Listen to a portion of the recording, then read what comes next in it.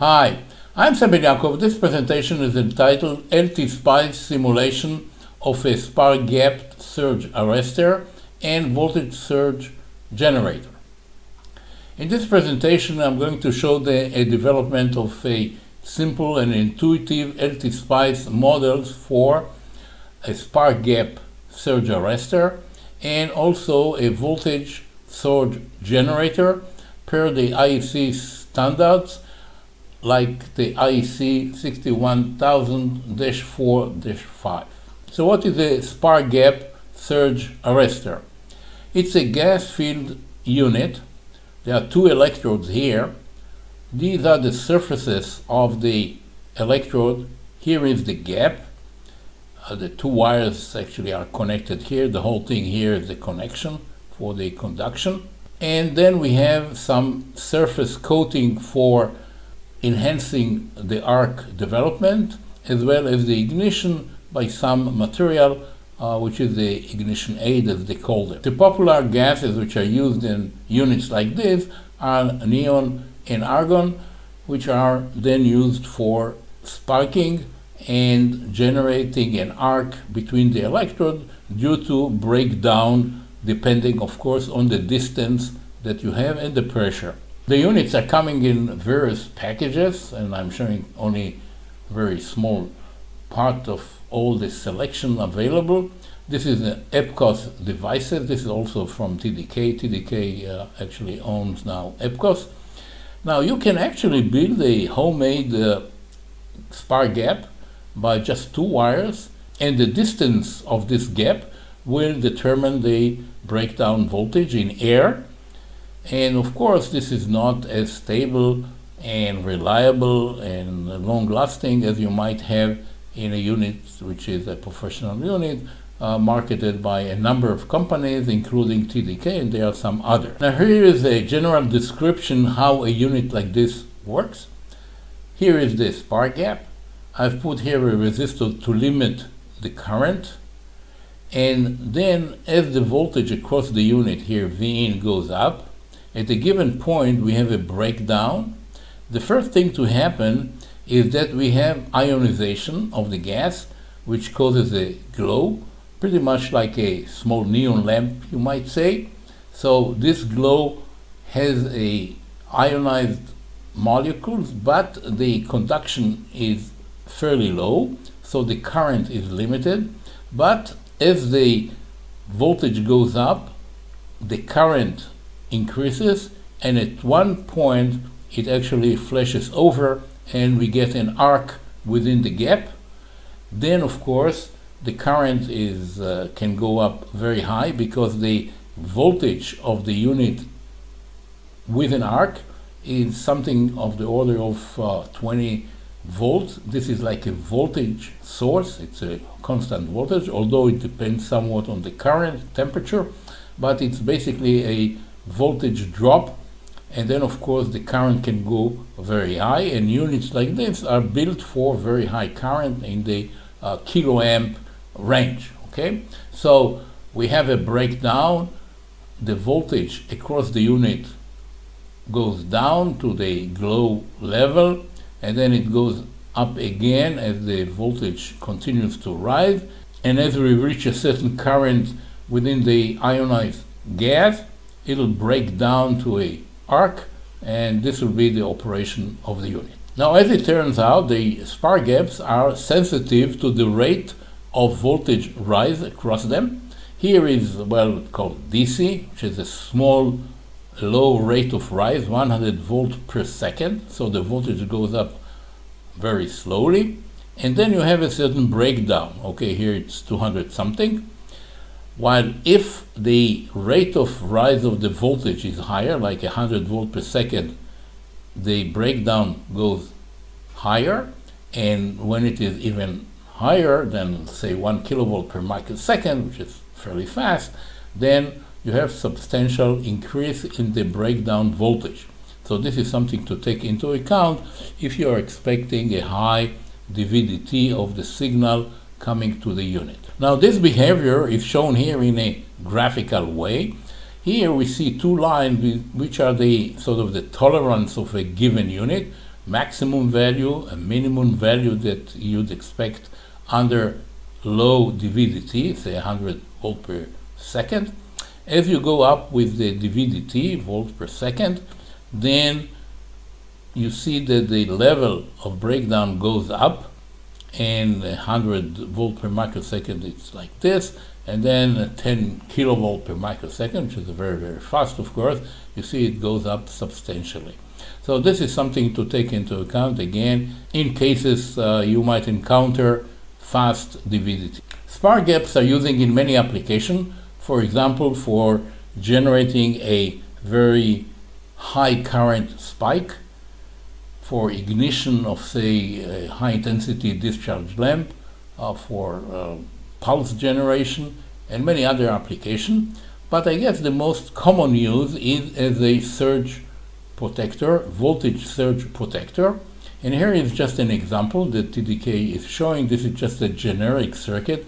It, uh, some details are missing here, but the idea here is clear. This is like a communication line. Suppose it's on the roof or somewhere that has to be protected against lightning or some other discharges. And then uh, we have at the front end, we have the spark gap. So this is the, will capture the very high voltages that might be arriving here. And then we have varistors. These are resistors forming a voltage divider and limiting the current to the varistor.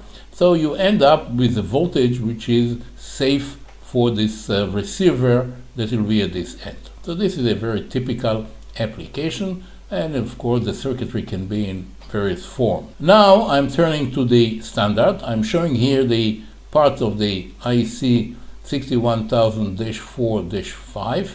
This is for electromagnetic compatibility and this part is testing and measurement techniques for surge immunity test. So this is how to test unit for surge immunity. This is the purpose of this uh, part here.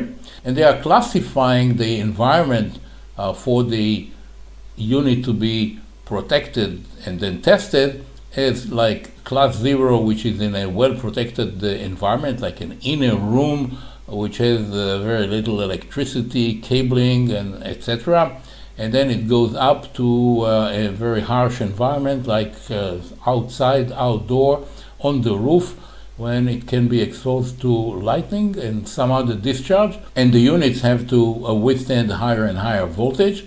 And here we have some of uh, the classes here actually. This is like starting with 0.5 kilowatt, maximum current of 250 amp, and then it goes up to 4 kilowatt and 2 kiloamp, quite a heavy current and very high voltage. However, these are not continuous voltages, of course. We are talking about pulses that are defined in this standard, okay? So, first of all, they also are showing how to generate the pulses. And here is a like a circuit that you can build and to build tester. You can actually buy testers like this. And it includes like a network here, a shaping network. This is the primary source, a capacitor with is charged. And then as the switch is uh, connected, turned on, we have the pulse generated here. And this is just for recharging the capacitor. This is a very large resistor. So after you have the pulse and then uh, the switch is opened again, then this resistor will charge the capacitor to the nominal value and then you can go on closing the switch again for the pulse. Now the pulses are well defined. This is the open circuit voltage pulse, okay? This is a normalized value, 1. It has a front end and a trailing edge here, which are defined by the rise time here. It's a little bit complicated, I'll show it, but let me just say first of all that they are specified as 1.5 to 50 microsecond. This is for this particular standard. Other standard will have different number. The 1.2 refers to the front between half the height on both sides, so this is the width defined as the width of the pulse. Now, as far as the rising part, It's a bit complicated. Well, this was uh, composed by a committee, and of course they had to complicate it. So there are two numbers here. First of all, 0.3 of 30% and 90% of the final value. And there is a time here between these two points. And then you normalize it to the full time, like as if it was a straight line and it turns out that this normalization is 1.67, you have to multiply it. So basically what it says that you have to have here like 0.718 uh, microsecond, so that the total time here will be approximately 1.2 microsecond. And this is for the short circuit, this is now the current that is expected uh, for the short circuit if the output is shorted. And again, there's a definition of, of this rise time and the width here. And we are talking about, uh, in this case, 8 to 20 microseconds. So the, the average, you might say, a rise time here is 8 microseconds and the width is 20 microseconds. So now I'm turning to the SPICE models and I'm starting with the spark gap model. Now the model is basically a switch. Now this switch has to turn on at a given voltage and to turn off when the current drops to a certain level. Okay, this is the requirement of this switch. Once it's on, we see here like a voltage source, and here I put 20 volt, just an average value, and here is just a uh, parasitic resistance, you might say, or actually the resistance of the arc, uh, which I just put uh, 10 milliohm. This is, of course, just an approximation, but it's not that important because uh, the question, what is exactly the voltage here, is not of importance in actual simulation of a system. And now I have here behavioral dependent source, which are generating the input to this trigger, okay? It will trigger at about 0.5 volt, here it is, 0.5 volt, it will trigger. And so what I have to do is to look at the output and when it get, gets to whatever voltage uh, is this uh, spark gap defined to or specified to, I have to uh, generate a voltage here, okay, here to the input, and then I have to keep it on until the current drops to a certain value, and this is the second source here. So this source generate a high voltage, I mean, relatively high voltage, when the current is above a certain value. Now, I'm using here the logic syntax of LT Spice. Now, this if statement means the following. If x, y, z, meaning that if x is larger than 0.5, that's what it is, then y, otherwise z. So what it says here is the following. If V out over 750 is 0.5, larger than 0.5, then this will be a 1. And this will be turning on the switch. And otherwise it's 0. And now for the current, I have it here like if the current is larger than 0.5 amp, then it is a 1. So it's holding this switch on and if it drops be below 0.5 then it will be zero okay? So this will turn on and keep it on until the current drops below 0.5 amp. This is the way I've specified it. Of course this can be changed. Now I've added another thing here which is an indication of the DVDT, the rate of rise of the voltage coming in to the spark gap.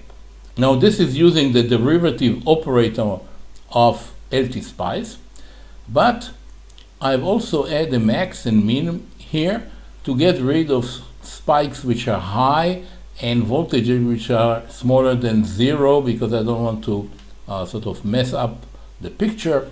So what it says here is that it will show the voltage the higher between these two. So it's only positive voltages and then it'll be the minimum of 10 and this meaning that it will chop whatever is above 10 volts so when I'm running it and I'm looking at the scope at the output of LT Spice it will not mess up the plots with very high spikes and changing the scale, etc.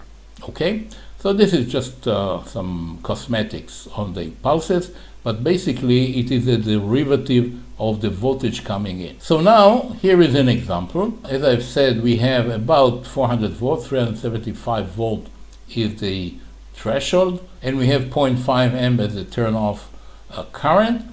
And here I've changed this uh, part here to be a larger resistor and the reason is that I like to uh, see the fine details and if it is like uh, just a voltage source this, the, the operation, the spikes are very short and it's very difficult to understand what's going on.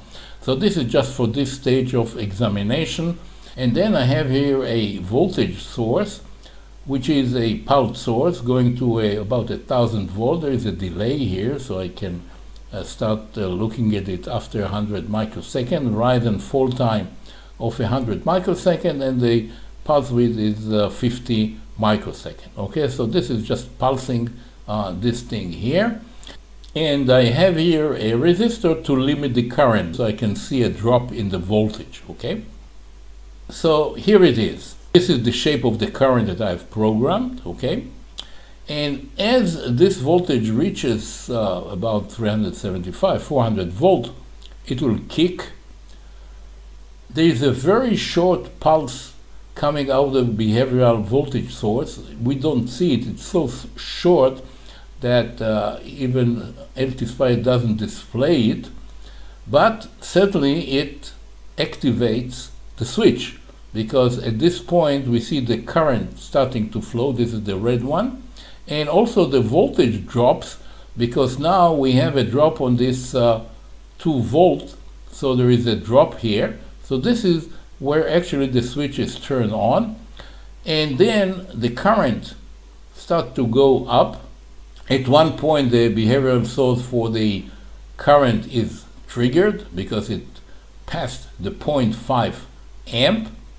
And then as the voltage revives again to the same value, okay, because it dropped and then it comes back, then we have the output of the other behavioral source for the voltage sensing, okay? And then it goes on, and then the pulse is going down. At one point, we go below the voltage of the trip, and therefore this goes down, but there is still current, so the switch is still on, okay, the switch is still on until it drops to uh, 0.5 is the current, until it drops to uh, 0.5 amp, and then we get uh, the switch off. Okay, so it shows very nicely how this thing works. And now I'm coming to the model of the voltage surge generator. Okay, so basically it's just translating into LT-Spice what we have seen before. We have here the network. We have a switch again. This is the turn on and off. And here th this is operated by a pulsar here. This is the capacitor which is being discharged into the shaping network.